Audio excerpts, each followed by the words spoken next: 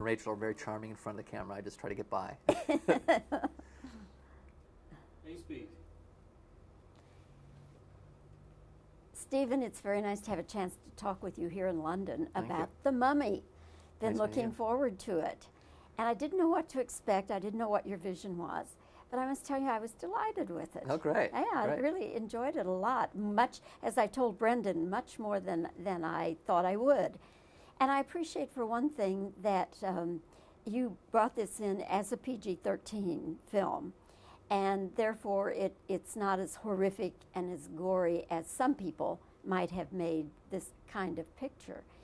So, uh, my question to you is were you mandated to bring in a PG 13?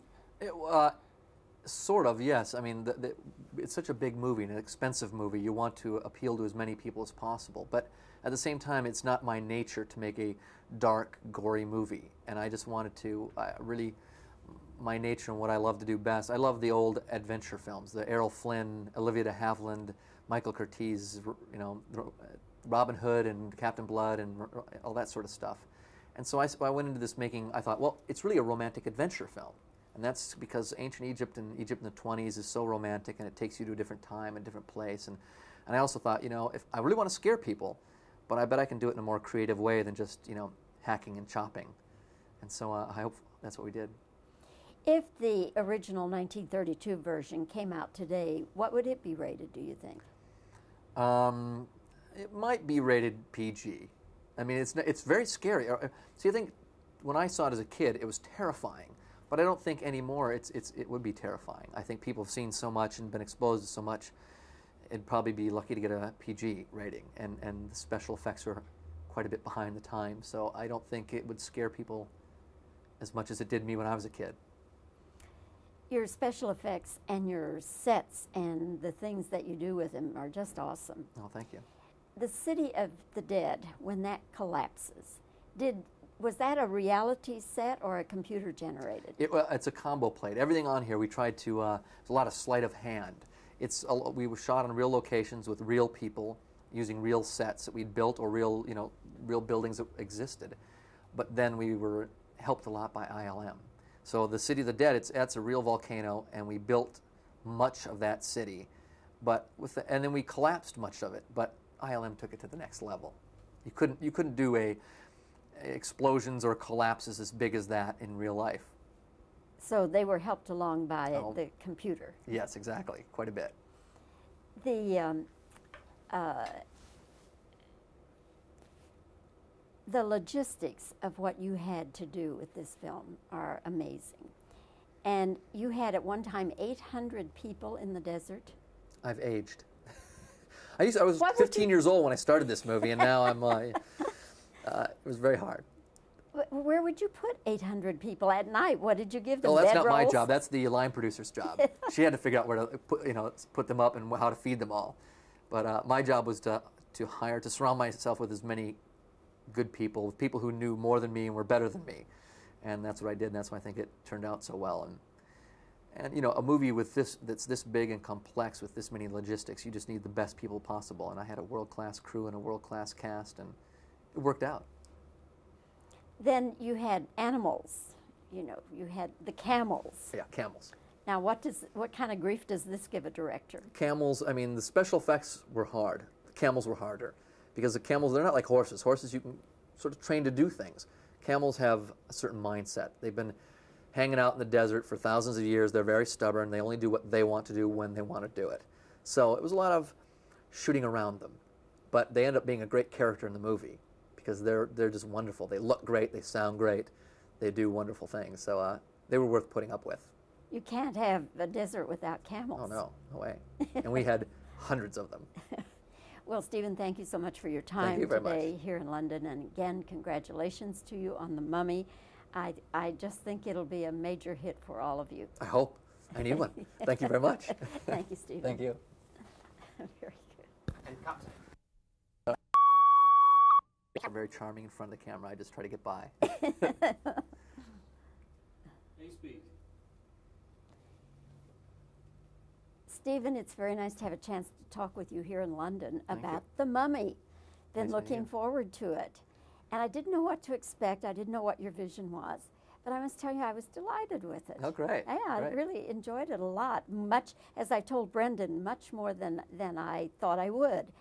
And I appreciate, for one thing, that um, you brought this in as a PG 13 film. And therefore, it, it's not as horrific and as gory as some people might have made this kind of picture. So, uh, my question to you is were you mandated to bring in a PG 13? It, uh, sort of, yes. I mean, the, the, it's such a big movie, an expensive movie. You want to appeal to as many people as possible. But at the same time, it's not my nature to make a dark, gory movie. And I just wanted to uh, really, my nature and what I love to do best. I love the old adventure films, the Errol Flynn, Olivia de Havilland, Michael Curtiz, you know, Robin Hood and Captain Blood and all that sort of stuff. And so I went into this making, I thought, well, it's really a romantic adventure film. And that's because ancient Egypt and Egypt in the 20s is so romantic and it takes you to a different time and different place. And, and I also thought, you know, if I really want to scare people, but I bet I can do it in a more creative way than just, you know, hacking and chopping. And so uh, I hope that's what we did. If the original 1932 version came out today, what would it be rated, do you think? Um, it might be rated PG.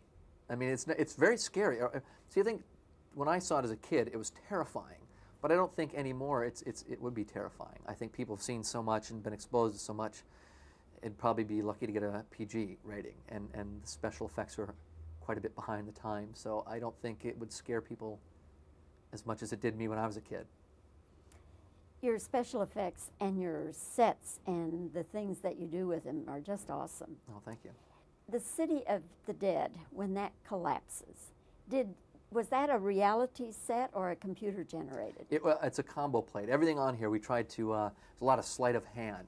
It's a, we were shot on real locations with real people, using real sets that we'd built or real, you know, real buildings that existed. But then we were helped a lot by ILM. So the city of the dead, it's that's a real volcano, and we built much of that city, but with the, and then we collapsed much of it. But ILM took it to the next level. You couldn't you couldn't do a explosions or collapses as big as that in real life. So they were helped along by Oh. the computer. Yes, exactly, quite a bit. The um, uh, the logistics of what you had to do with this film are amazing. And you had at one time 800 people in the desert. I've aged. I used I was What 15 you- years old when I started this movie, and now I'm. Uh, uh, it was very hard. Where would you put 800 people at night? What did you give them? Oh, that's not my job. That's the line producer's job. she had to figure out where to put, you know, put them up and how to feed them all. But uh, my job was to to hire to surround myself with as many good people, with people who knew more than me and were better than me, and that's what I did. And that's why I think it turned out so well. And and you know, a movie with this that's this big and complex with this many logistics, you just need the best people possible. And I had a world class crew and a world class cast, and it worked out. Then you had animals. You know, you had the camels. Yeah, camels. Now, what does what kind of grief does this give a director? camels i mean the special effects were hard the camels were harder because the camels they're not like horses horses you can sort of train to do things camels have a certain mindset they've been hanging out in the desert for thousands of years they're very stubborn they only do what they want to do when they want to do it so it was a lot of shooting around them but they end up being a great character in the movie because they're they're just wonderful they look great they sound great they do wonderful things so uh, they were worth putting up with You can't have a desert without camels. oh no no way and we had hundreds of them Well, Stephen, thank you so much for your time you very much. today here in London. And again, congratulations to you on The Mummy. I, I just think it'll be a major hit for all of you. I hope. I need one. Thank you very much. Thank you, Stephen. Thank you. Very good. And cut.